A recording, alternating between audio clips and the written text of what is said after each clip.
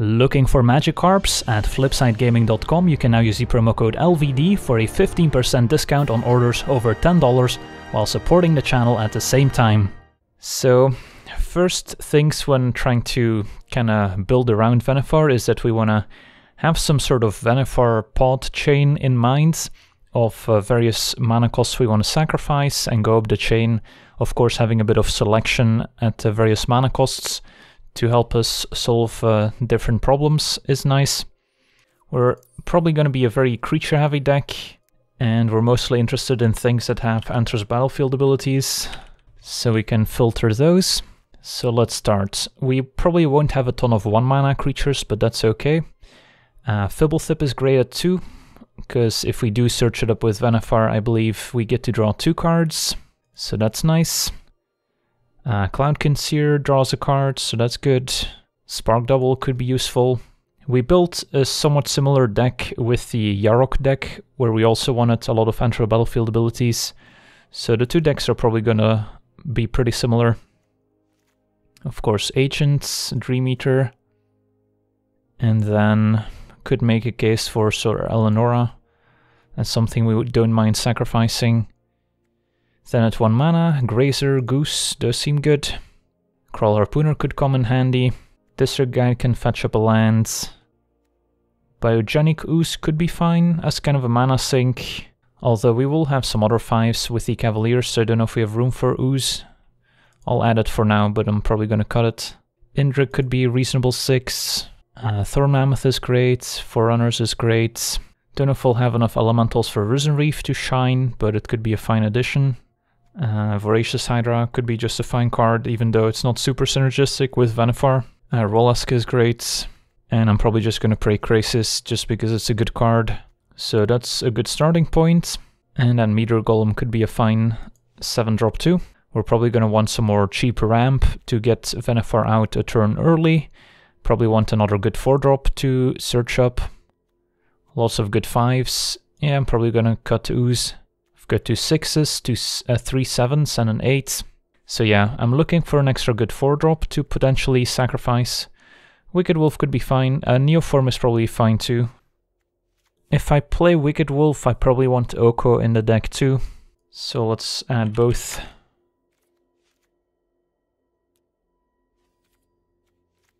Don't think I want Dungeon Geist, since we typically don't want to sacrifice it. Beast Whisperer is on cast and not on Enters Battlefield. Could still be good enough, but it does get a bit worse with Vannifar, because Vannifar puts them into play right away instead of actually casting them. Of course, Questing Beast and Shifting Ceratops could be fine additions, even though we don't necessarily want to sacrifice those. This is also on cast and not on Enters Battlefield. I'm probably also going to play Crashing Drawbridge to give Vannifar haste. So yeah, we could play these, but we might end up cutting them, we'll see. So let's add the Drawbridge and give Vannifar haste. Then I'm to add some mana creatures. So Incubation Druid, Leafkin Druid, Paradise Druid. And if I'm playing Leafkin Druid and Cloudkin Seer, I can probably play Risen Reef too. And then the Pixie is another good mana accelerant. Could consider the Engineer, don't know if that's necessary. A bit more mana ramp. Uh, Corridor Monitor could be sweet. Although the thing about Corridor Monitor is... So the Corridor Monitor is good if you have a lot of 1 mana creatures to sacrifice, because then you can go sacrifice my 1 drop, get a Corridor Monitor, untap Vannifar, and sacrifice my Monitor to get a 3 drop but we don't actually have a lot of 1-drops in this deck, we just have Grazer and Goose. Now of course, Monitor also allows you to potentially activate Vannifar later, where you just like have a random 4-drop, activate Vannifar, get a 5, and then use Corridor Monitor from hand to activate Vannifar again. So it could be good enough still. Don't mind trying it out. Kiora is definitely a must-have as a way to untap my Vannifar. That's definitely better than the, the monitor, but we could still play the monitor as well. Stony Strength can untap my creature, but that's maybe a bit narrow. And then basically the corridor monitor and that's it. Yeah, Great Henge is uh, probably good enough too, since that's on enter the battlefield and not on cast. And uh, the 4 mana enchantment, I believe, as well. So yeah, the Guardian project should fit in nicely. Whenever a non-token creature enters battlefields, blah blah blah, draw a card. So this seems quite good in our deck where we're searching up multiple creatures in the same turn. So we're currently at 58 cards, but I could easily play one or two extra lands if we wanted to. Although with all the mana creatures, I don't know if that's necessary. Also, the fact we're using Vannifar to search up some of these expensive cards means we don't necessarily need to hardcast all of them. Are there any ways to maybe protect Vannifar? I guess there's only the one card that gives hexproof. The Lazotep plating. Could main deck Veil of Summer, but that's maybe a bit narrow. Yeah, I don't know if I want a plating. Frilled Mystic is okay. Not like super synergistic with Vannifar since we can only use Vannifar at sorcery speed. So it's not like I can sacrifice my 3 drop to counter something. But it is a creature that's also a counterspell. Uh, can also play Once Upon a Time to give us a bit more selection, find those early mana creatures. Yeah, definitely want a Signet. I guess this is fine, 24 lands, we don't have to overdo it since we have Vannifar. And have a healthy mix of different mana costs to search up. Not completely sold on the Kraul Harpooner, I guess. That could be something else. But it is technically like a removal spell that I could search up if I sacrifice a 1-drop. And also creature that I can maybe play, get a bit of value, kill an opposing Gilded Goose, and then sacrifice to get a 3. Yeah, let's uh, take a look at the mana base. So I'm probably okay with Castle Vannifar, or uh, Castle Vantress. Uh, Brig is probably pretty good too when we have some of these expensive green cards. Don't think we need Sanctuary. Cabin seems unnecessary. Uh, probably okay with the Simic Guild Gate. Command Tower. Some fetch lands are probably okay, just to make sure we have both colors. And that's probably it. Take a look at the distribution, but it should probably be okay the way it is. So we definitely have more green. Right now I have 1, 2, 3, 4, 5, 6, 7, 15, 16 green sources should be more than enough. Still need quite a bit of blue for like Cavalier, so don't want to go too low on the islands. Yeah, Loaming Shaman could be kind of an anti-graveyard card. Maybe cut the Engineer for it.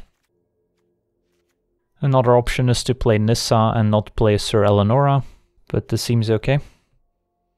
Let's give this a try.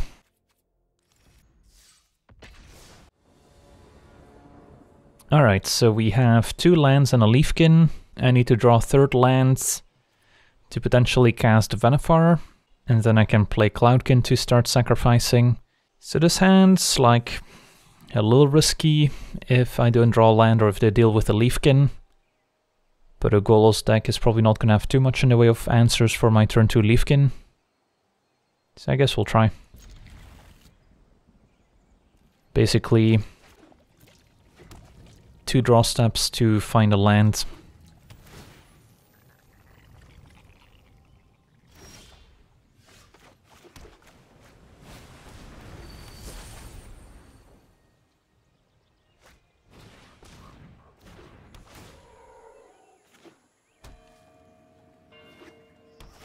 Alright, points ramping nicely too, but we do have the turn 3 Vannifar. According to plan. And then next turn I could play my Cloudkin, get a 4 drop.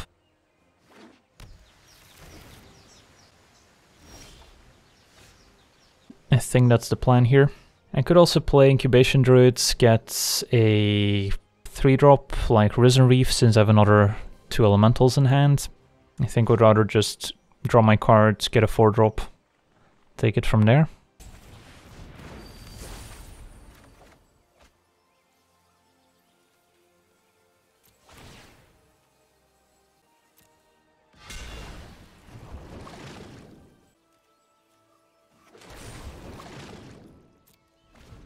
Alright, so Kiora's nice too, so I can potentially activate Vannifar three times next turn. If I play one more creature, Leafkin Druid makes 2 mana as well. So, we'll see. Opponent could wipe the board and put me back to the Stone Ages. So hopefully that doesn't happen. I'm okay if they just make some zombies.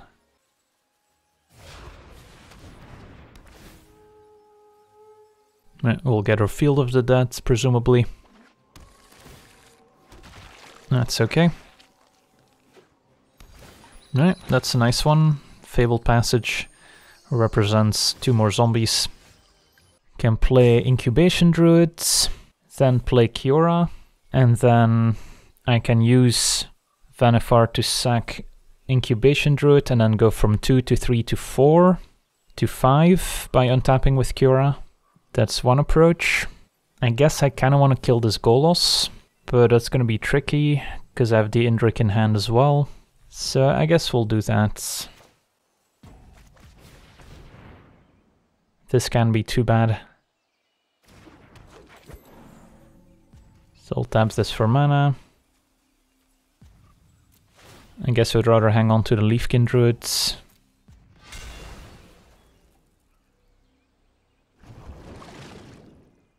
Get Risen Reef.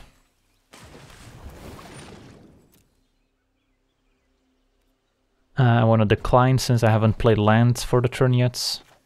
So this potentially gives me one more mana. Don't think that matters.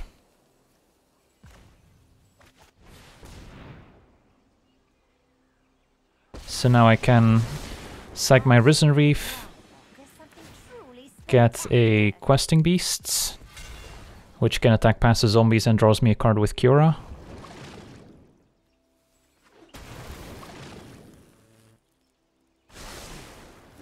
So we'll attack first.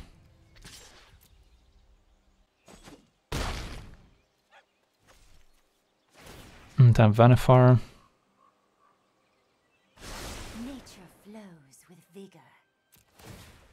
And get, I guess a Cavalier of Thorns sounds good. The Royals could be okay too, but...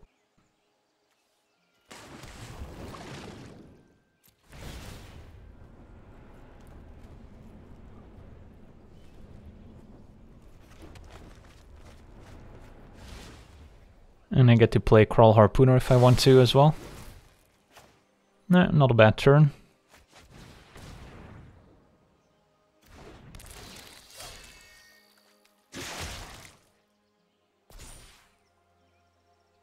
Yeah, the Harpooner doesn't draw, because it's a trigger that happens afterwards.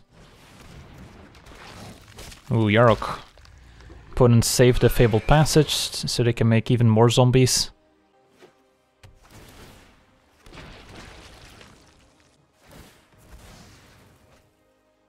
Yeah, maybe it was right to hold the Kraul Harpooner. Just wanted to be mana efficient. But yeah, like Kraul Harpooner, I guess it doesn't gain haste from the Forerunners, since it's not from a finale. This is probably fine.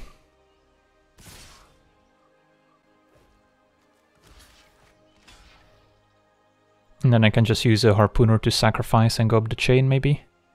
Although more likely to sack something more expensive.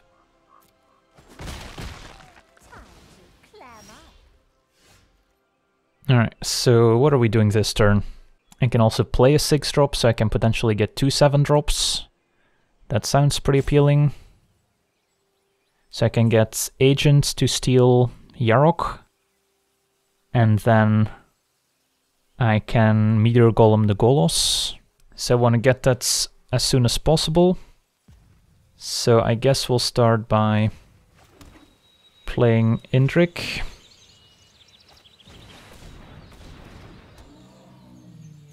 Draw and kill a zombie seems fine.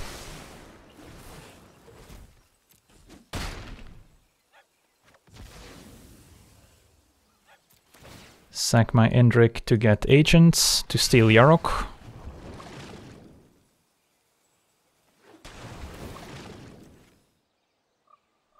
And then I can sack my Cavalier, get a 6 drop.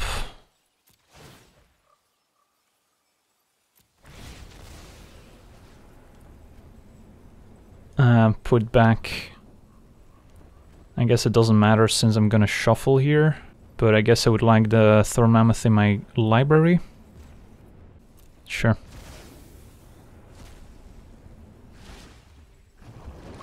Get a Dream Eater. Trigger twice thanks to Yarok. And I wanna... Don't wanna draw the Meteor Golem, wanna search that up. So let's put that last, and then draw... I guess Loaming Shaman and Fabled Passage with the two Kiora triggers. And bounce some zombies. Still the same here, since I don't want to risk milling over the Meteor Golem.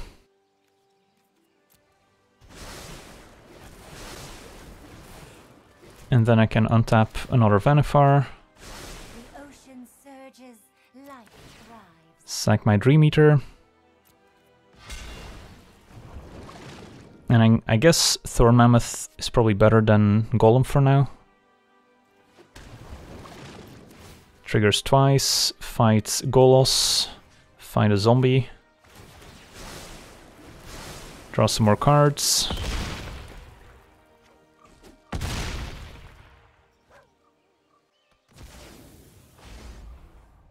I guess I can still play a Loaming Shaman, shuffle some cards back. That's actually quite useful here. And we'll fight the Grazer, don't want to fight anything else, otherwise the Mammoth dies.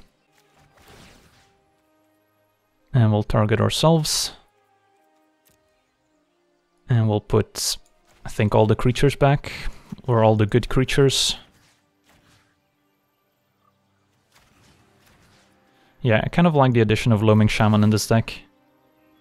And then target my opponents. Don't think I put anything back though. Yeah, they can just keep their stuff.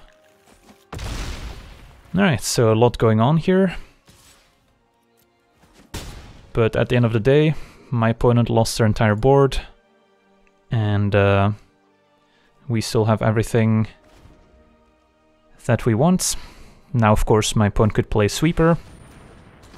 Instead, it's going to be Agent of Treachery to steal their Yarok back. It's only fair. But this End-Raze Forerunners should be enough to end the game, hopefully.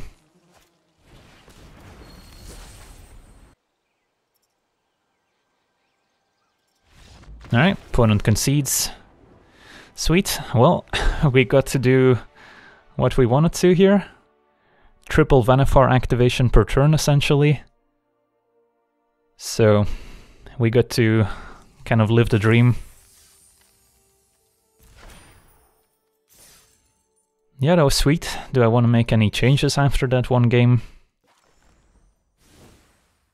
I didn't have a great 4-drop other than Spark Double but I guess Wicked Wolf could be still a fine one to search up sometimes, just to kill a creature and then we're okay sacrificing it later. There's no amazing 4-drops with great enter battlefield abilities, to be honest. Yeah, I guess Muse Drake might not be the worst just to draw a card. It is a little bit underwhelming, but if we're gonna sacrifice it anyway, it might be better than some of the alternatives. Zegana only draws a card if we have a plus one counter somewhere though, which is not a given. Like, we don't have a ton of uh, plus one counters, this if we adapt, but that's not guaranteed. Nothing else at 2 besides maybe Neoform. And then like the Spark Double can come with a plus one counter, maybe a Wicked Wolf if we have a food token. Roalesk can give a counter somewhere. But yeah, there's nothing, and maybe a Great Henge. But I don't think that's enough for Zegana to consistently draw a card. So yeah, I don't hate the idea of Muse Drake. Could be better than one of these other fours, or I could cut something else for it. Grazer's questionable since we don't have a ton of lands. Like with 24 lands, a Grazer is not always going to be amazing, but it is a one drop that I don't mind sacrificing to get Fblthp and draw two cards. Yeah, Muse Drake being better than Questing Beast is uh, somewhat questionable, but it is also true that it's only better if Vannifar survives, in which case we're probably doing fine and I don't mind giving up a bit of value. Whereas in the games where we don't have Vannifar in play, where the opponent removes it, I would much rather have a Questing Beast than a Muse Drake, I think. So it's probably okay to have it this way. Eh, let's run back. If it ain't broke. This hand is lacking blue mana, so that's kind of an issue. But I do have a potentially pretty early Vannifar, which is nice. I guess I'll try it.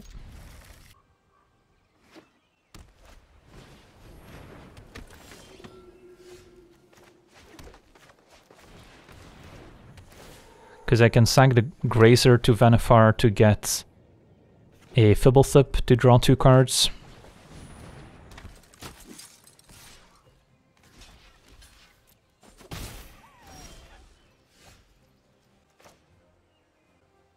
If I draw an island, then I'll have an additional blue mana in play.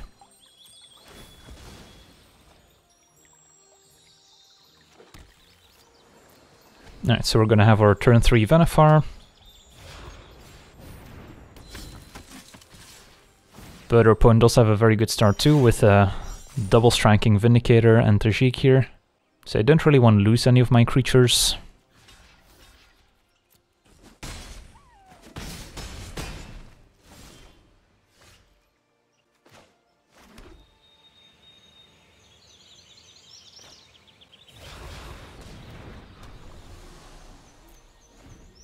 Could have been correct to just play Questing Beast there, and then maybe rely more on playing Great Henge, maybe ramping out Thorn Mammoth, instead of going for Vannifar. We'll see. Heartfire. Well, that would have killed my creature regardless.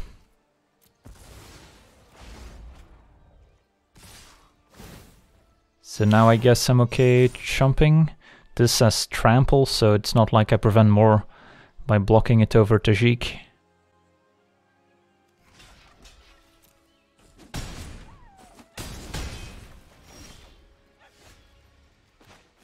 So I do have enough mana for Thorn Mammoth, th thanks to Castle Garenbrig.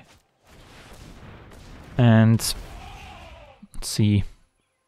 All non-combat damage that would be able so I can actually kill the Vindicator here because this is non-combat damage. So I gotta kill Tajic. But then the next time I play creature I can probably kill Vindicator. So I'm gonna take another pretty big hit. If they have a pump spell I could be dead. Ooh, Giant Killer. That's pretty rough. Yeah, opponent had a pretty good draw here.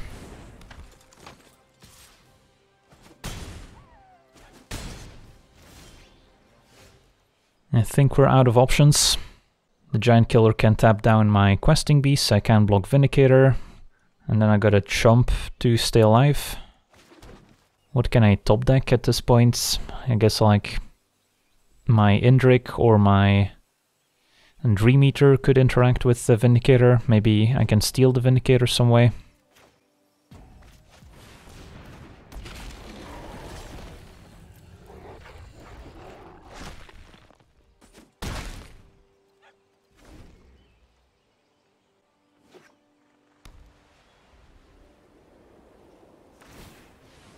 So that's tap down. And a Legionnaire. So I'm at one.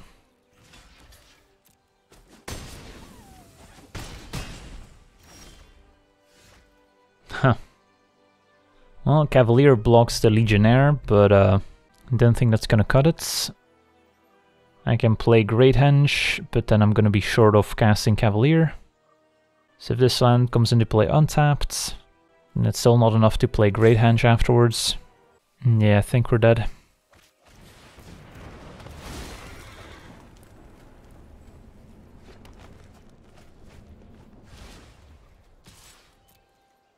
Because yeah, the Great Henge, unlike Ghalta, isn't a sum of both, but it's the highest power.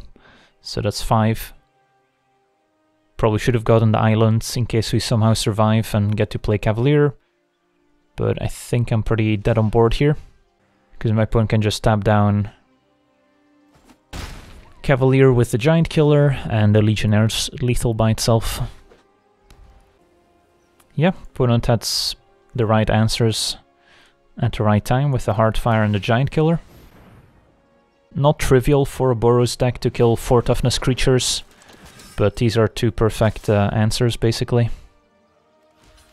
Good games.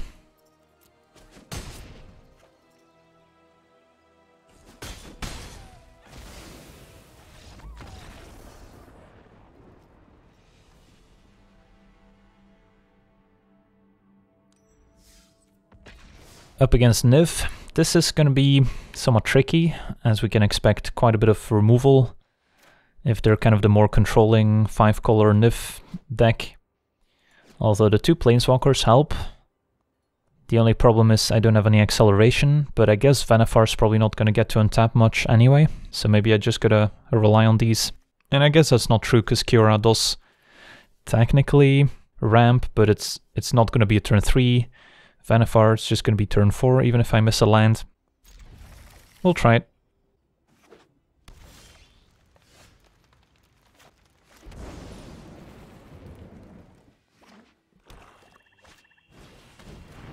Alright.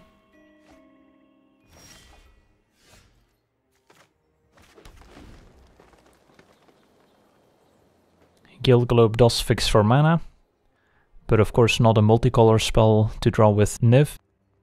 So usually don't see too many of those in Niv decks.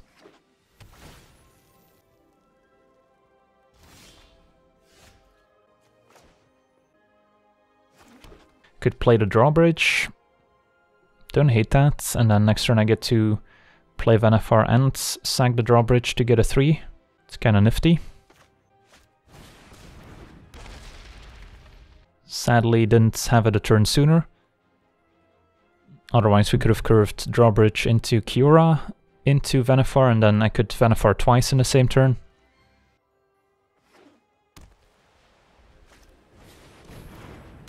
Alright, so next turn I get to play Niv. This turn I get to play Vannifar. I think. Are we killing something in response? Oh no, the drawbridge. Why?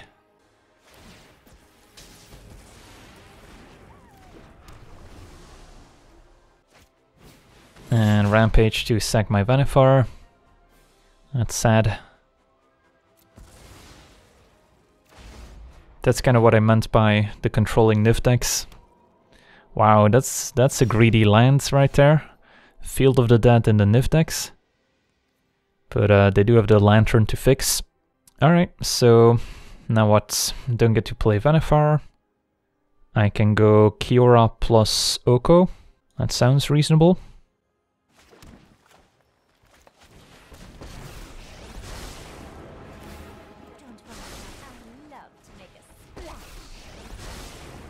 I could Elk the Lantern. Let's see, they have a plane. I mean, I guess they have the Guild Globe, so they probably get to cast Niv regardless. But yeah, I could potentially mess up their mana by Elking the Lantern. But for now, I'm gonna make a food. Welcome to the feast. I've got lots of four-powered creatures for Kiora to draw me some cards, so hopefully they get to stick around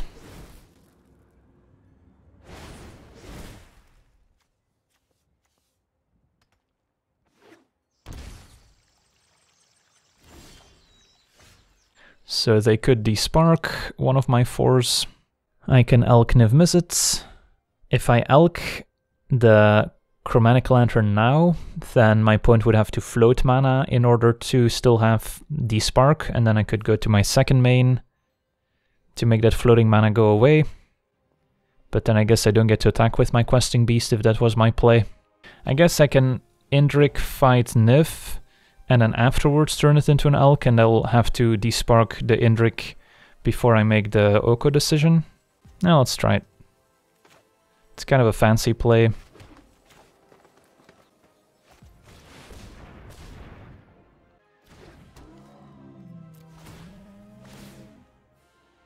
Oh, never mind. Yeah, I, I guess we have a castle.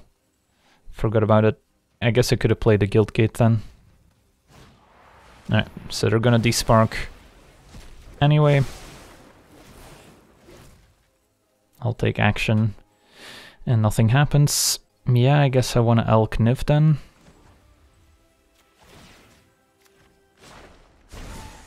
So yeah, I should have definitely played my Guild Gate instead here. I think we'll be okay. Yeah, not in a great spot. Not gonna really be able to get this Vannifar going against all that removal my opponent has. The, the Ravager Wurm kind of adds to that.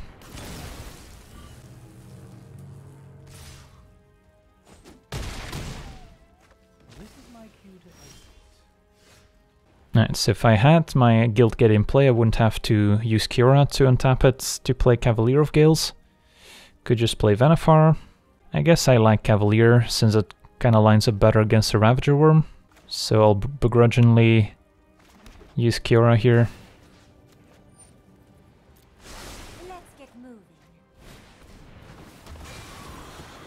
Draw first before we brainstorm. And two lands can go. Alright, let's pass a turn. And as far as we know, this Cavalier can hold the fort. And then we've got some good options for next turn at least.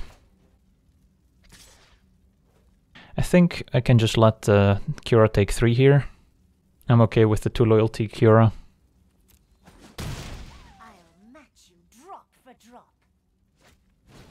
Right, did an Oath of Kaya instead. Could have also finished off Cavalier, but now gets to finish off Kiora instead.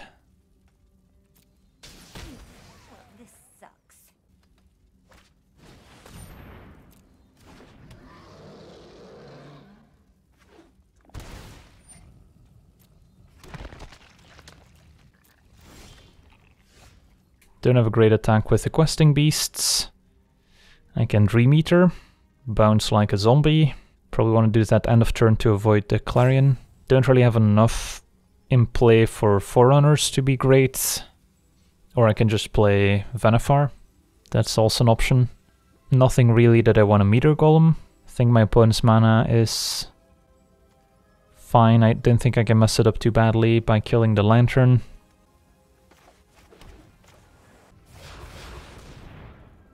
And then I probably want to keep Cavalier on defense still.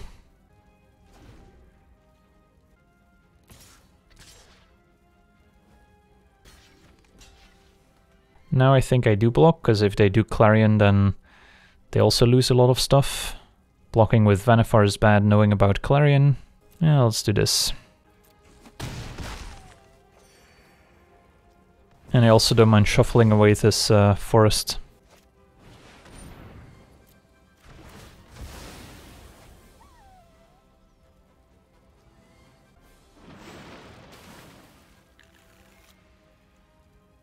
Guess uh, Roalesk is fine.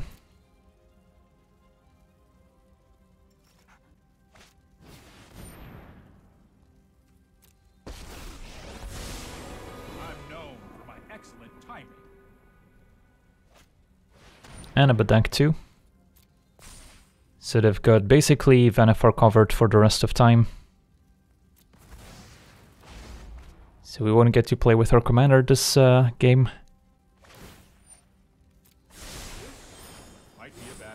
If they attack me, then Questing Beast at least kills the fairy, but...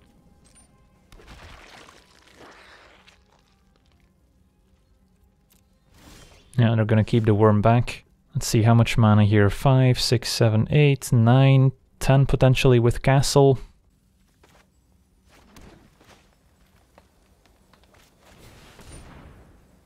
Because we get to kill the Teferi while dealing a bit of damage at the same time. Unless my opponent wants to chum block with the Ravager Wurm. And I do want to start building up my board so the End-Raze Forerunners becomes more effective.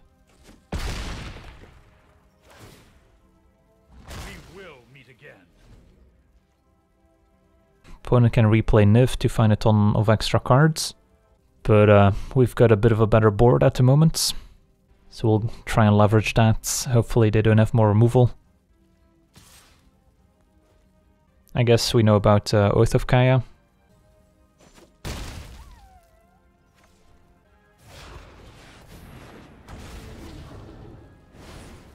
So what do they find this time around? Looks like they have at least two Selesnya cards they have to choose between here. Alright, just two, but one's pretty good here. Krasis. And a Faeburrow Elder, which would be a 5-5 with Niv in play. can just uh, Golem Niv here get a pretty big chunk of damage in, and then set up the Forerunners for next turn.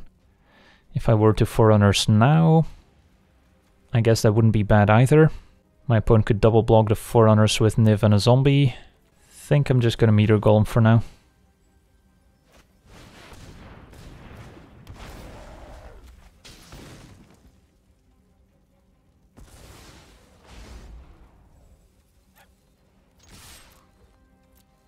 Opponent takes 10.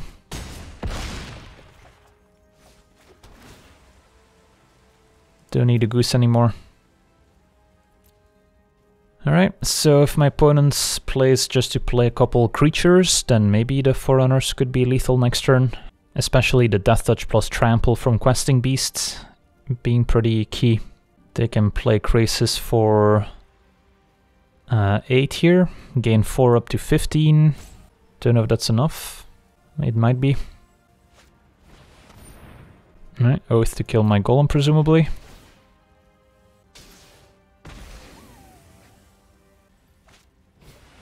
So that Faeburrow Elder is going to be quite large here, just missing a blue permanent at the moment.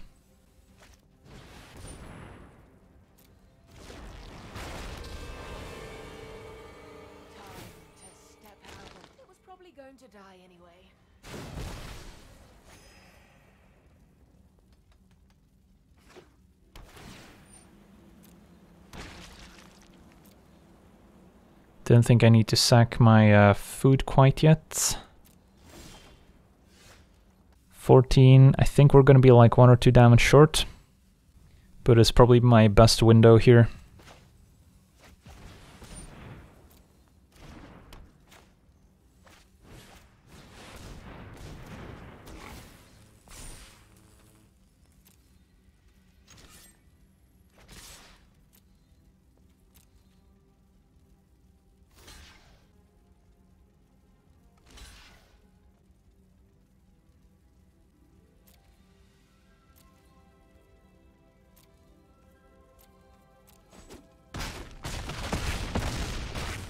One falls to two.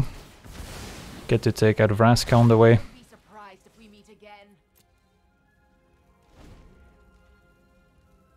But they did get rid of my questing beasts. I have a Dream Eater to get rid of a blocker. They couldn't block my questing beasts with the zombies, so the only way for them to kill my questing beasts is the way they did. Yeah, Vannifar was just watching from the sidelines this game. But it's nice that our deck is capable of winning without our commander. Yeah, Muse Drake probably wouldn't have uh, done quite the same as Questing Beast this game. Gotta hope that the Dream Eater is enough interaction. Draws two, maybe hoping for a sweeper here. Let's hope they don't find it. Deputy... sure. Well, it's not gonna work out great for them.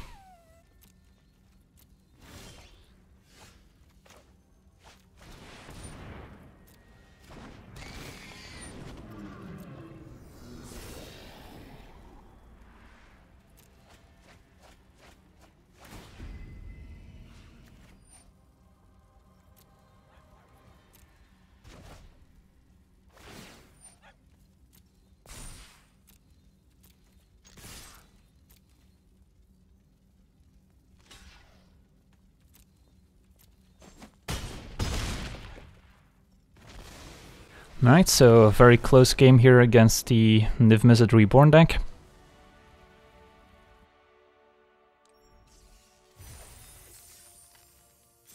Right, let's do one more. This hand could be potentially quite good, as Oko tends to be pretty effective against aggressive strategies. If the Once Upon a Time can find a mana creature, this hand would be ideal, because then I get to have a turn 3 Oko or Vannifar. I think I'll try it.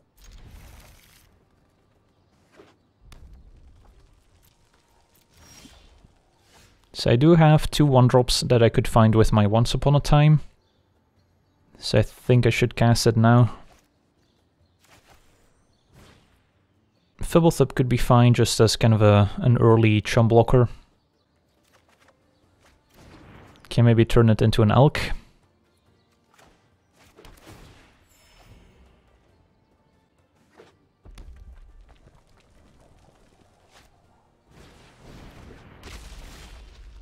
So my point's probably a more burn-heavy version if they're playing Electrostatic Field. So my creatures are less likely to survive. So we'll see.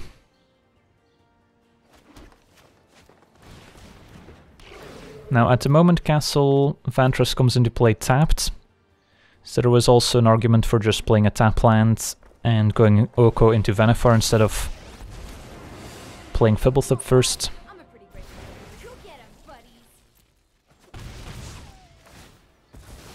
Chandra into Torbran is going to be a scary combination too. Just make a food. Then I can jump with Fblthp to save Oko, and then Oko can Elk Torbran while I play Vannifar.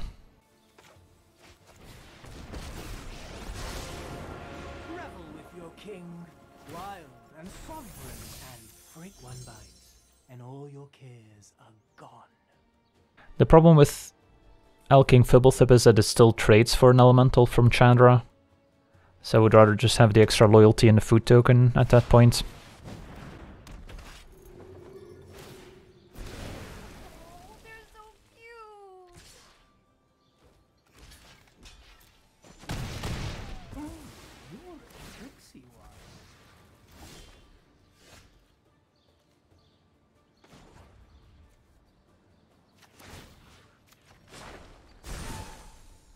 Invite you to change your ways. So hopefully Vannifar gets to untap.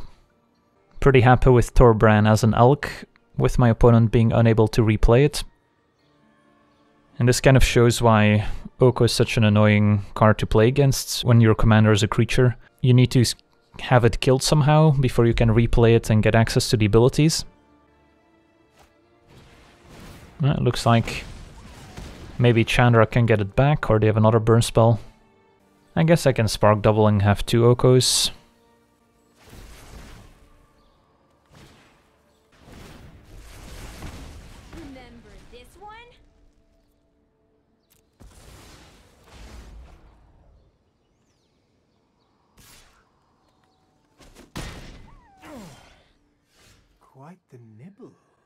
Yeah, don't really get to do anything else, so double Oko it is.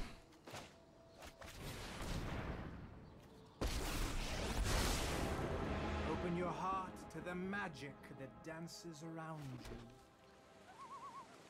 So I guess with this one I want a plus 2 so it doesn't die to the two elementals from Chandra.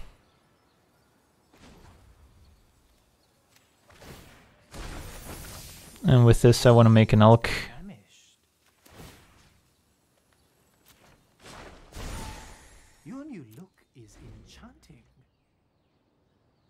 We'll see how this uh, plays out. And then next turn I can play Indrik. Maybe take out the electrostatic field. I should be able to untap with at least one Oko.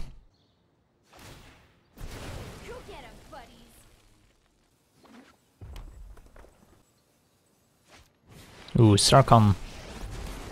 Alright, Sarkhan is pretty scary.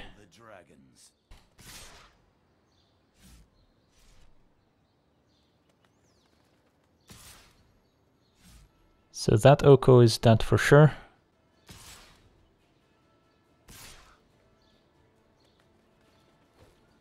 So I could trade for Torbran, but then I give him the chance of replaying it next turn, which could represent quite a bit of damage.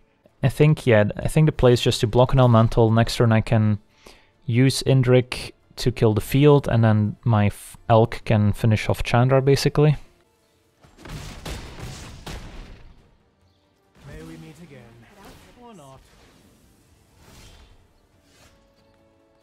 Yeah, I could also kill Sarkhan if I wanted to. That's also an option, maybe better. Yeah, Indrik seems fine.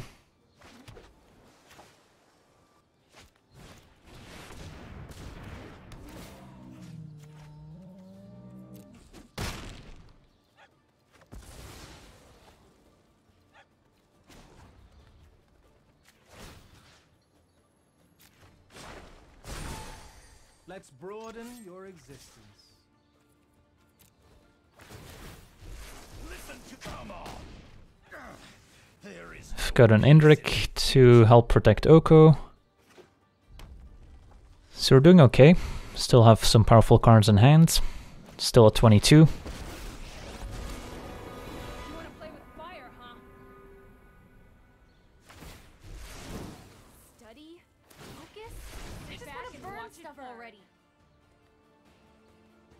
Did my opponent already play land? Yeah, they might have uh, accidentally played land already. They definitely would have preferred to have a castle in play. This Agent of Treachery could just uh, swoop in and steal Chandra. Opponent is gonna pack it in, understandably. Well, we got to play a lot with Oko this game. Sadly, Vannifar got dealt with. So, yeah, I mean, you heard it here first. Oko is a pretty good planeswalker, as it turns out. But for now, I want to thank everyone for watching, hope you enjoyed. And as always, have a nice day. I also want to thank all my patrons for being part of the channel, and you can become a patron yourself today and decide the topic of future videos over at patreon.com forward slash LegenVD.